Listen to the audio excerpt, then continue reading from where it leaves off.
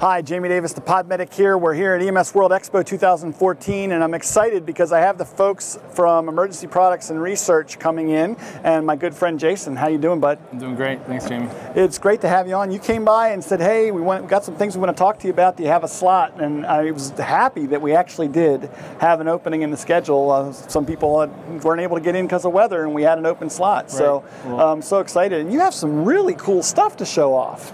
we do. We do. We're um, actually we're really proud this year. Actually, we have a, a number of products we're showcasing, um, three of which I brought today to kind of talk to you about a little bit about. So, so let's talk about this little tourniquet here because this is a basic tourniquet device that is cost effective. Yep. Easy to apply and, and something that can be put just about anywhere in, in, any kind of first aid setting. That's exactly right. So we really just took it down to keep it simple, stupid, right? You know, um, and just made it so it's easily portable. So it, it fits into a package just like that. Um, we developed this new quick cravat material um, associated with the Mustang project, and I'll explain it here a little bit. Um, that basically allows us just basically to wrap it around twice. Um, you use your torsion device uh, as your, your windlass. Take your two zip ties that are actually taped on here conveniently, locks that in place so it's actually locked right straight in place. So when you need to, if you need to adjust it at any time, you basically just take it out of those loops. You can transition up and down really cost effective, very easy to use, comes in uh, with a really nice instruction sheet inside. Um, we've done some pretty neat videos on it, so I would encourage people to go to our YouTube channel as well, and I'll, I'll provide that to you later. And on. we'll have a link right below the screen here to show you where that is as well. Yep. Excellent. So um, that's really cool. Yeah, it's it's great. And it's so simple, and that's that's the thing that I, I love is you know people come up with all these gadgety things that you know are the latest greatest you know innovation, and yet something as simple as this go back to basics and keeping it very simple right. is just the, actually, I think, a better tool. Yep, it is, and it's amazing. We, we weren't sure how it would be received because it seems so simple, if you will. Um, we designed it originally for Homeland Security um, and in FEMA CERT teams. That's really where we saw it, and we really we never expected the the reception to be as great as it has. And to be quite honest, I'm anxious to see these in every stocking and uh, Christmas at Christmas time. Oh you know? wow! So um, I think this might happen, and we're we're uh, we're working hard. So what else do you have for me? Um, the uh, real quickly, the uh, we have this Mustang traction splint. Uh, the Mustang traction splint is the we released this officially in June. Uh, the Mustang traction splint is a uh, splint that was developed for special operations use. Um, it is nine ounces. You can see it fits uh, into pretty much anything. it is designed to go into a pack with relative ease.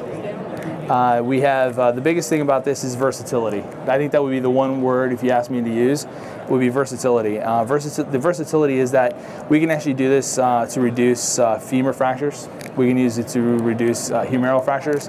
Um, it takes a relatively little space. There's no extension beyond the foot, so it's really good for air medical transport. Oh, excellent. so you don't have that kicking out of the, the traction, the rest of the traction right. splint for what, six to eight inches exactly, below the foot? Exactly. So you're not disqualifying patients that really need to be transported with critical needs.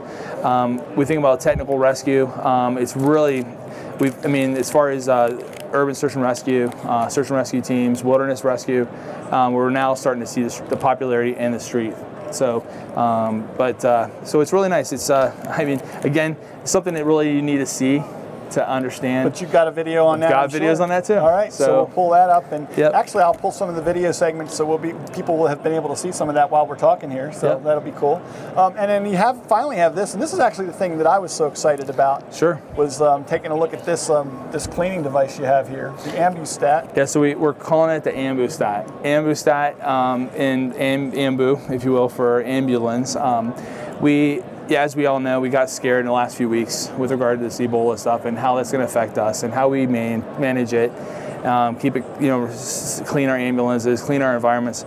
So we came up with a, we did a lot of research on this real quickly. Uh, we were asked to present, we're presenting next week uh, in, on the Beltway, um, and so we're going to proof of concept. But we had to come up with a solution that was one, easily deployable, two, cost effective, and three, did not require a whole lot of technological know-how.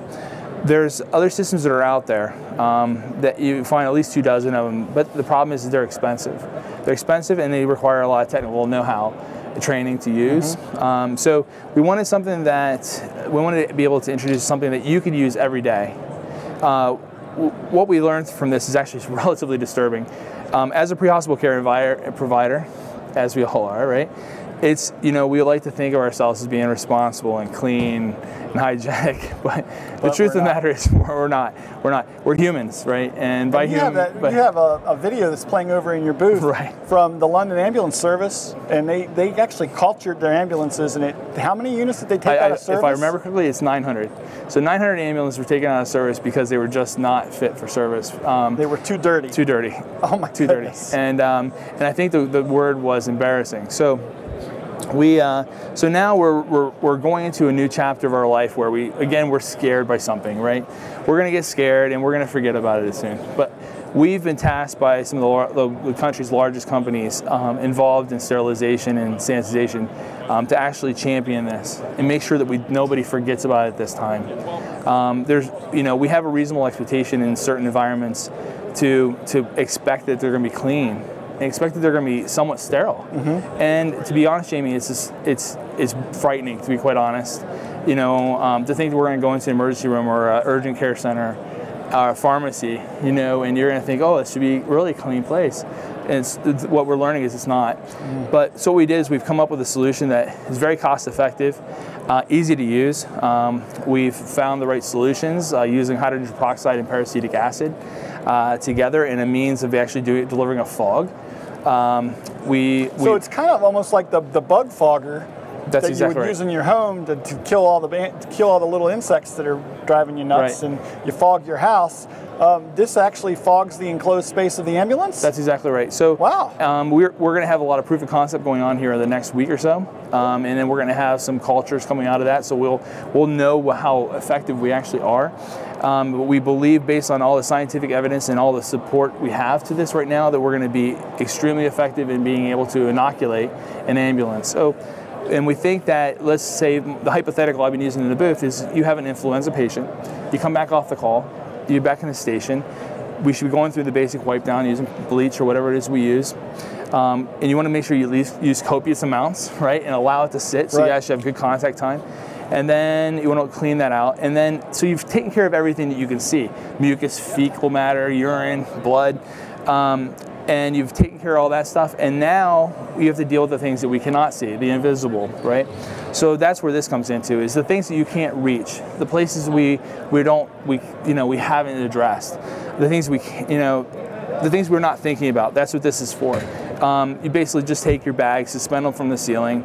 Um, you walk in, you basically fog the inside of the ambulance, close all the doors up, go about your business, write your charts, right? Prepare for the next call. And by the time you come back, you just ventilate the ambulance out about, let it air out a little bit, and you're back in service. And we want it to be that easy.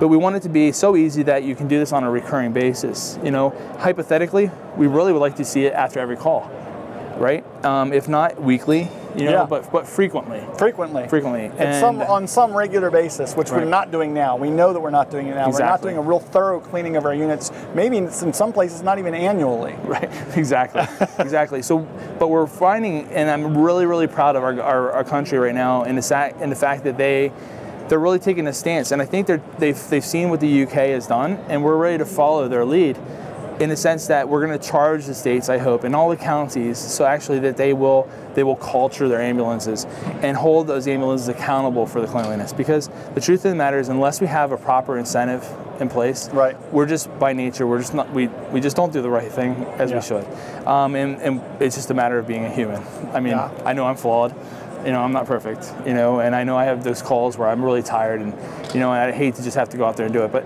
you do. You have to do it. It's it's good for you. It's good for everybody. Um, so i hope we're going to be able to take this be a part of the next generation and start a good track of you know, doing what we're supposed to do and being responsible and reducing healthcare costs, reducing infectious, you know, components in our environment. So um, I'm really proud of my company for actually standing up and taking on the challenge, um, allowing me to have the resources to do that. So anyway, That's that's that's awesome, and I, I'm looking forward to getting the data back that you guys are still still in the process of Right, collecting. Um, and and this is just uh, just an innovative idea, and uh, really. Uh, th- Thank you for bringing it to the attention of me and the MedicCast audience. right. Well, thanks, Jamie. I appreciate it. Where can folks find out more about what you what you're doing over there in emergency products and research? Um, right now, we don't have we don't have anything on the website yet because this is happening so fast. Okay. Um, there will be stuff on the website here soon. I, I Well, would, you have Mustang and, and the other stuff on there. Right. Well, So- yeah, we don't. Right. But you With don't have regards the to the stuff, yeah. So there. you're going to see. You can go to our our website at www.epandr, so epandr.com. Um, I would also encourage you to go to our Facebook page, Okay. uh, which is facebook.com forward slash EMS Gear. So E M S G E A R. Okay. You can also follow us on Twitter at EMS Gear. Okay. So um, I would encourage everybody to go to our Facebook page and keep track of everything that's going on. If there's any questions directly, you can always call me at 610-357-3226 or um, by email at jasont at epandr.com. Excellent. So- we'll have links to all that in the show notes for people. good. Um, Jason, as always, it's a, pleasure to have you on and talk about some of the cool stuff you're involved with. It, you always seem to be uh, coming up with the next thing. Trying. Trying. Trying. Trying. Well, it's a lot it- of work. It succeeded again, as far Right, as I'm right. concerned. Great. So that's really Great. cool. Um, thanks a lot, sir, and I appreciate you coming on. Thanks, Jamie. All right. See ya. And I want to thank all of you. Make sure you check out more segments like this one from EMS World Expo 2014 in the Physio Control Podcast Studio. And we want to thank all of you. You can check all of that out over at mediccast.tv. I'm Jamie Davis, the Pod Medic, reminding all of you to remember scene safety, BSI.